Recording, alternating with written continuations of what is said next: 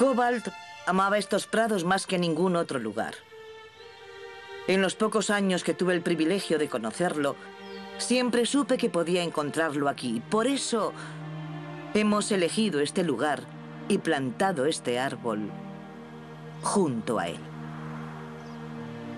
Como muestra de nuestro amor a un magnífico caballo y como símbolo de la vida para que nos ayude a aceptar su muerte.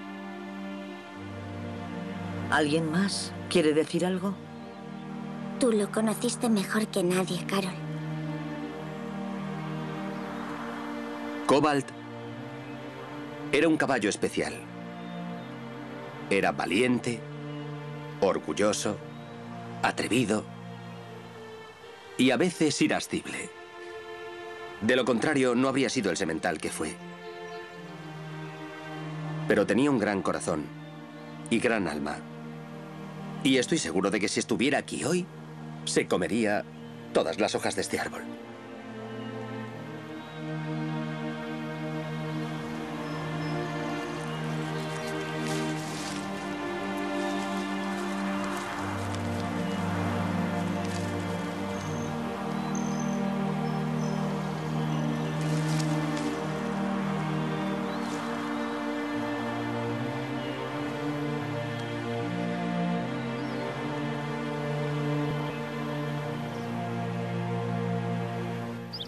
Lisa, ¿te fijaste en la forma en que la señora Reg miraba a Verónica mientras hablaba de Cobalt?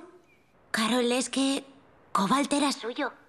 Vale, era suyo, pero nunca lo cuidó. Sí, pero Verónica parecía muy triste.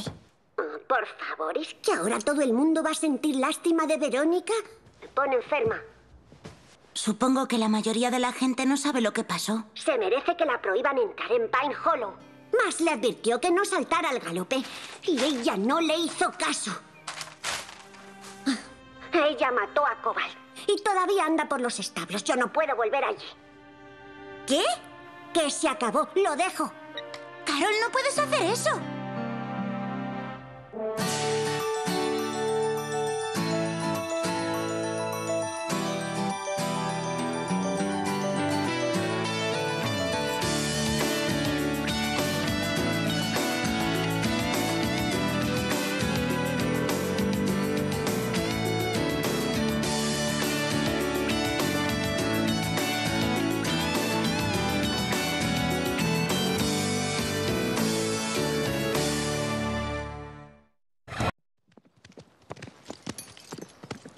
Bien, Amelia.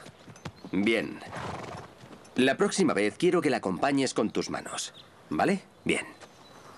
Sam, Me parece que Piper no está listo. pues prepararlo es tu trabajo. Vamos. Es que no me parece justo. ¿Qué? Esto, la clase, ¿cómo puedes hacer como si no pasara nada? Como si nada hubiera cambiado. ¿Todos sentís lo mismo?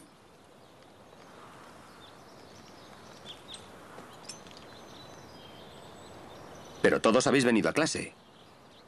¿Y qué significa para mí? Que queréis superar lo que ha pasado y seguir adelante. Y eso es bueno. Y que todos queréis aprender a ser mejores jinetes, ¿verdad? No importa si no estás preparado, Sam. ¿Prefieres no practicar saltos hoy? De acuerdo. El siguiente. Lo haré yo. Bien.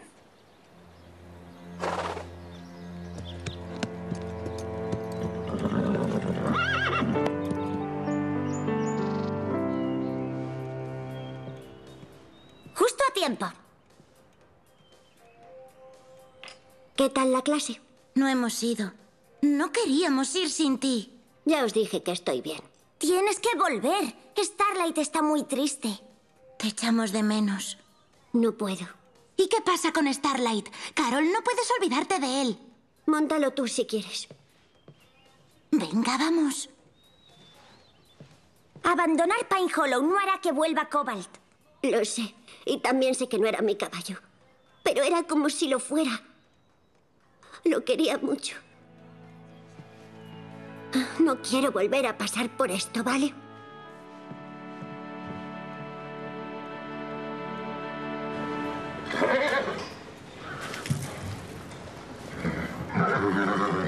Vamos, tienes que comer algo. ¿Dilaila te da problemas? No quiere comer. Yo creo que le pasa algo malo. A mí me parece que está bien. No te preocupes, comerá cuando tenga hambre. Ya sé lo que le pasa. ¿De verdad? ¿Cuál es tu diagnóstico? Delilah echa de menos a Cobalt. Sí. De eso estoy segura. Oh, Starlight. Me parece que hay muchos caballos solitarios en Pine Hollow últimamente.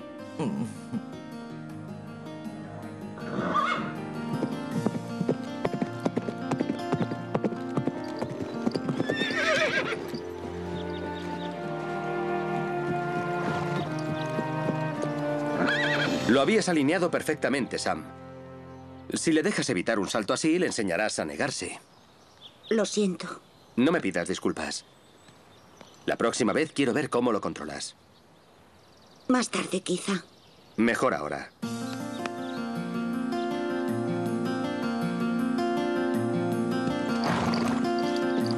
Muy bien, Sam.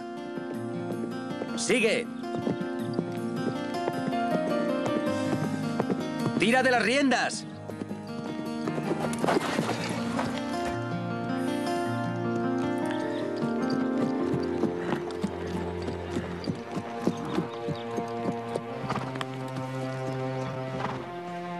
Lo haré la próxima vez. Vale. ¿Por qué no descansas un rato hasta que estés preparado? Os vendrá bien a Piper y a ti. ¿De acuerdo? Últimamente está muy quisquillosa con sus patas. Se resiste cada vez que alguien intenta levantárselas. ¿Tiene alguna herida? ¿Hinchazón? No, solo es muy testaruda. Está en su derecho. Yo no me preocuparía, Max. Oye, ¿has visto a Carol? No desde el homenaje a Cobalt. ¿Tampoco ha terminado sus prácticas contigo? No, le he dejado un par de mensajes, pero no me ha contestado. Está muy afectada por la muerte de Cobalt. Sé que lo adoraba, pero jamás imaginé que Carol abandonaría los establos o su trabajo contigo. Lo dejó antes de que muriera Cobal. ¿Ah, sí? Ajá. ¿Por qué? Pues ni idea. Quizá la presioné demasiado. A veces olvido que es una niña. Se parece tanto a su madre. Centrada, decidida. Y muy testaruda. Ah, ah, Karen era muy apasionada, ¿verdad? Y le encantaba cuidar de los animales. Igual que a Carol. Le gustaba mucho el trabajo.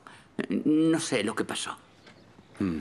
Ojalá Karen estuviera aquí. Ella sabría qué decirle a Carol. Yo puedo lidiar con cualquier equino, felino, canino que me pongan por delante, pero los niños para mí son un misterio. Yo no me rendiría tan pronto con ella.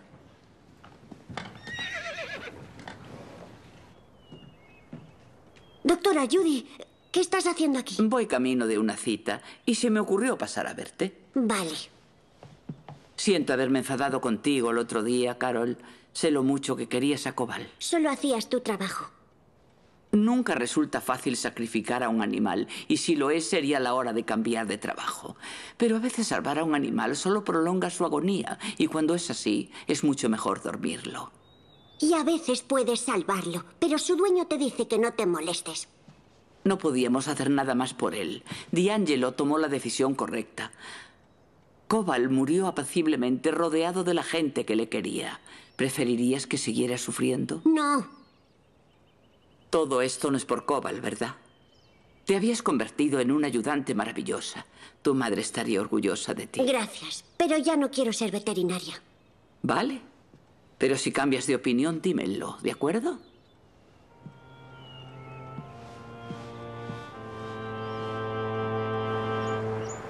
¿Qué? Quiero que vendas a Starlight por mí. No puedes. Nunca te separarías de él. Tengo que hacerlo. Dejo la equitación, así que... Oye, estás loca. Stevie, No quiero verlo. Tienes que venderlo por mí. le partirás el corazón. ¿Para qué voy a quedármelo? Carol, te compraste a Starlight con el dinero que te dejó tu madre. No puedes venderlo. Ella sabía lo mucho que te gustaba montar. Sí, me gustaba. Todas nos sentimos fatal. Si os sentís fatal, ¿por qué seguís montando? Comanche, Patch y Starlight no se merecen que los castiguen. No fue culpa suya. Vale. Entonces lo haré yo misma.